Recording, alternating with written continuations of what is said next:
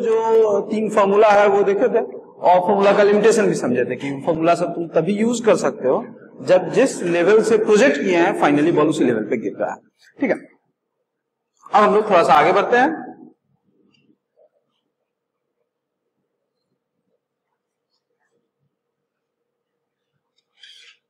Suppose करो 20 metre per second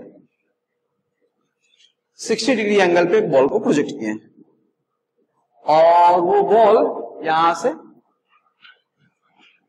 से कि 20 मीटर दूर एक दीवार है, उस दीवार से जाके टकराता है। और टकराने के बाद फिर ये इससे रिबाउंड होगा और कहीं जाके गिरेगा। ठीक है? अगर इस दीवार के साथ बॉल का कोलिजन परफेक्टली इलास्टिक है। परफेक्टली इलास्टिक कोलिजन का मतलब होता है कि जिस स्पीड से आके बॉल टकरा रहा है, टकराने के बाद उसी स्पीड से जाएगा।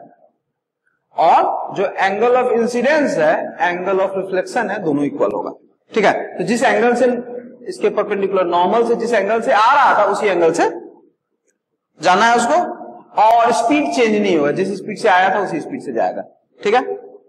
तो बॉल को हम लोग 20 मीटर पर सेकेंड 60 डिग्री से प्रोजेक्ट किए हैं। 20 मीटर दूर एक दीवार है। दीवार से टकराता है। टकराने के बाद बॉल रिफ्लेक्ट होके इधर जाएगा बताना है कहाँ पे गिरेगा। इस दीवार से टकराने से बॉल पे असर क्या पड़ेगा? बॉल में दो वेलोसिटी है।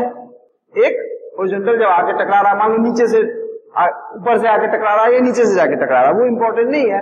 अगर इधर से आके टकरा रहा है इसके वेलोसिटी में दो कंपोनेंट है, एक वर्टिकल और एक हॉरिजॉन्टल टकराने के बाद इधर जब आएगा तो फिर इसका एक वर्टिकल कंपोनेंट होगा और एक हॉरिजॉन्टल कंपोनेंट होगा।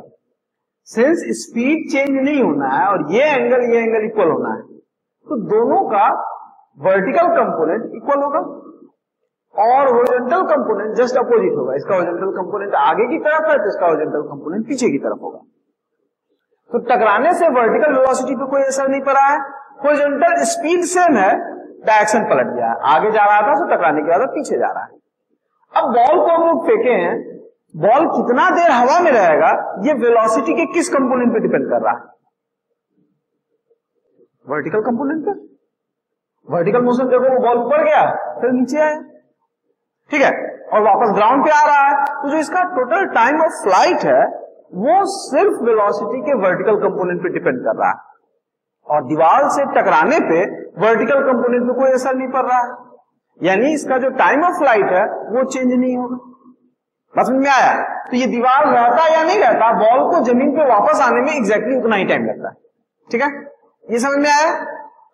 दूसरा पॉइंट ये कि होरिजॉन्टल स्पीड चेंज नहीं हो रहा है। ठीक है? होरिजॉन्टल वेलोसिटी चेंज हो रहा है। आगे की तरफ़ था बाद में टकराने से पीछे की तरफ़ हो गया। पर होरिजॉन्टल स्पीड चेंज नहीं हो रहा है। तो जो होरिजॉन्टल डिस्टेंस है, जिसको तुम होरिजॉन्टल स्पीड को टाइम ऑफ़ फ़्लाइट से गुना कर दोगे तो होरिजॉन्टल डिस्टेंस मिल जाएगा। वो होरिजॉन्टल डिस्टेंस चेंज नहीं होने वाला, क्योंकि होरिजॉन्टल स्पीड चेंज नहीं हुआ। तो दीवार के होने, न होने से न तो होरिजॉन्टल डिस्टेंस पे फ़र्क पड़ रहा है, न टाइम ऑफ़ फ़्लाइट पे फ़र्क पड़ रहा है। ठीक है? तो दीवार को हटा दो। दीवार को हटा दोगे तो इसका होरिजेंटल डिस्टेंस क्या होगा? ये वाला। डिस्टेंस अगर दीवार नहीं होता तो इस तरह से जाता। इसका होरिजेंटल डिस्टेंस क्या होगा? ये तुम डायरेक्टली रेंज के फॉर्मूला से निकाल सकते हो, क्योंकि जिस हाइट से बॉल प्रोजेक्ट हो रहा है फाइनली उसी हाइट पे आ रहा है। ठीक है तो यहाँ पे तुम फॉर्मूला लगा सकते हो।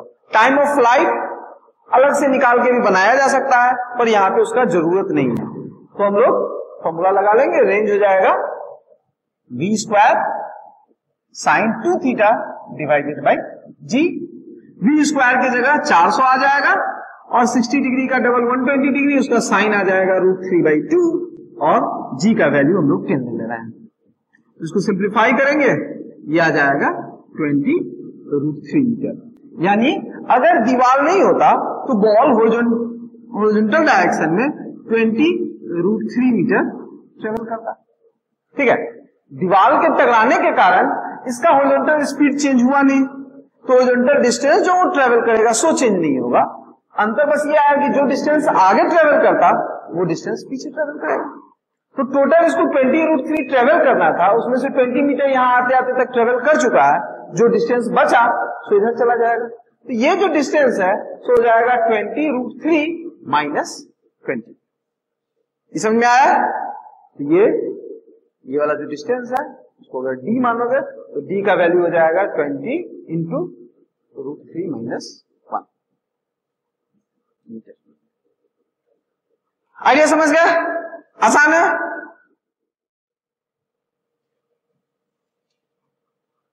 सपोज़ करो, दो वर्टिकल वॉल है, और दोनों के बीच में डिस्टेंस पाँच मीटर एक बॉल को हम लोग इस वॉल के पास से 60 degree angle 20 metre per second से प्रोजेक्ट करते हैं। तो बता दो, ये दीवार से कितना बार टकराएगा? ठीक है? सारा कोलिजन परफेक्टली इलास्टिक हो रहा है तो बताना है, दोनों दीवार से कितना बार टकराएगा और फाइनली बॉल कहाँ पे गिरेगा? ये जाएगा, इससे बार बार टकराएगा दो तीन बार इससे टकराएगा, दो तीन बार उससे टकराएगा, फिर फाइनली नीचे गिरेगा। ठीक है? तो फाइनल जो पोजीशन है, वो वही है जहाँ से हम लोग प्रोजेक्ट किए थे। तो जिस हाइट से फेंक रहे हैं, उसी हाइट पे वापस आ रहा है। और हम लोग देखे हैं कि टकराने से वर्टिकल वेलोसिटी पर असर पड़ता नहीं तो टाइम ऑफ़ फ़्लाइट वही रह जाता है। होरिजेंटल स्पीड पे कोई असर नहीं पड़ता है तो होरिजेंटल डिस्टेंस भी सेम रह जाएगा। तो जो होरिजेंटल डिस्टेंस बॉल ट्रेवल करेगा, उसको हम लोग रेंज के फॉर्मूला से निकाल सकते हैं। समझ में आया? क्योंकि जिस हाइट से फेंक रहे हैं, उसी हाइट पे आ रहा है। और टकराने से न तो स्पीड पे फ़र्क पड़ रहा है, ना, न होरिजेंटल स्पीड पे फ़र्क पड़ रहा है, ना वर्टिकल स्पीड पे फ़र्क पड़ रहा है। तो टाइम ऑफ़ लाइट वही है टाइम ऑफ़ लाइट को तुम होरिजेंटल स्पीड से गुना करते हो तो तुमको रेंज मिलता है। तो टाइम ऑफ़ फ़्लाइट चेंज नहीं हुआ है होरिजेंटल स्पीड चेंज नहीं हुआ है तो रेंज भी चेंज नहीं होगा। तो टोटल जो वो होरिजेंटल डिस्टेंस ट्रेवल करेगा, वो हम लोग रेंज के फॉर्मूला से निकाल सकते हैं V square sine two theta divided by G value put करेंगे तो ये आ जाएगा चार सौ। Into root three by two divided by ten ये आ जाएगा 20 तो रूट थ्री मीटर ठीक है? रूट थ्री के जगह हम लोग 1.73 रख देते हैं। तो ये आ जाएगा 34.6 मीटर ठीक है? तो टोटल डिस्टेंस इसको 34.6 मीटर ट्रेवल करना है। दीवार है तो होगा कि आगे जाएगा, फिर पीछे आएगा, फिर आगे आएगा, फिर पीछे जाएगा, और आगे पीछे करते हुए टोटल साढ़े चौतीस मीटर ट्रेवल करके गिर जाएगा। ठीक है? तो कितना बार टकराएगा? छह बार? पाँच मीटर? दस मीटर? पंद्रह? बीस? पच्चीस? तीस? फोर पॉइंट सिक्स समझ में आया? तो टोटल छह बार टकराएगा और छठा बार इससे टकरा रहा होगा जब जाके उसका तीस मीटर पूरा हो जाएगा। और उसके बाद उसको 4.6 मीटर और जाना है। तो यहाँ से 4.6 मीटर पे या कह लो यहाँ से 40 सेंटीमीटर 0.4 मीटर पे इस दीवार से 0.4 मीटर पर फाइनली गिरेगा। और जो है सो तीन बार इस दीवार से टकराएगा, तीन बार इस दीवार से टकराएगा। समझ में आया? सिंपल है?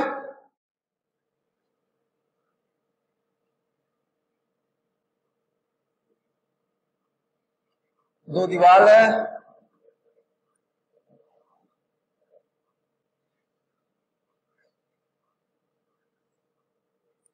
और इस दोनों के बीच में डिस्टेंस से कि पाँच मीटर है। या दस मीटर मान लो, दोनों के बीच में डिस्टेंस दस मीटर है। बॉल को हम लोग बीच में कहीं से फेंकते हैं। कहाँ से फेंक रहे हैं हमको नहीं पता। बीच में जस्ट किसी पॉइंट से फेंक रहे हैं। और बॉल जो है सो से कि यहाँ से 30 डिग्री एंगल पे फेंक रहे थर्टी डिग्री एंगल पे बॉल को फेंके, बॉल इस दीवार से टकराया, फिर उस दीवार से टकराया और जहाँ फेंके थे, बॉल फाइनली वहीं पे गिर गया ठीक है?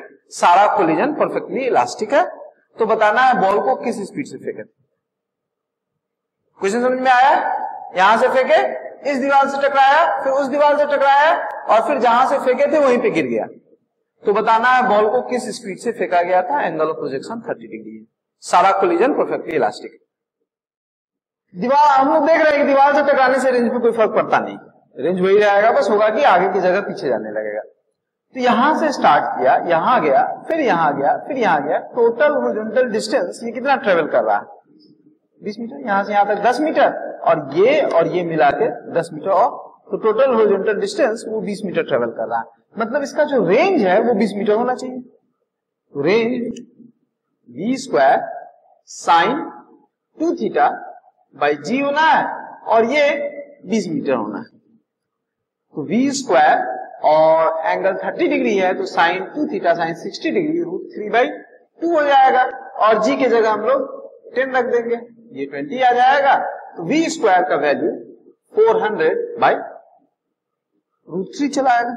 और तब यहाँ से वी का वैल्यू हम लोग निकाल सकते हैं 20 divided by three to the power one by four. ठीक है? यहाँ जो है, एक बार फिर से रूट लेंगे तो थ्री पे पावर वन बाई फोर चला आएगा। मीटर पर सेकेंड समझ में आया? आसान है? इस वीडियो को लाइक और शेयर करें। इस तरह के और वीडियोस देखने के लिए स्क्रीन पर दिए हुए प्लेलिस्ट और वीडियो पर क्लिक करें। नए अपडेट्स के लिए हमें फेसबुक पर लाइक करें ट्विटर पर फॉलो करें और हमारे चैनल को सब्सक्राइब करें। धन्यवाद।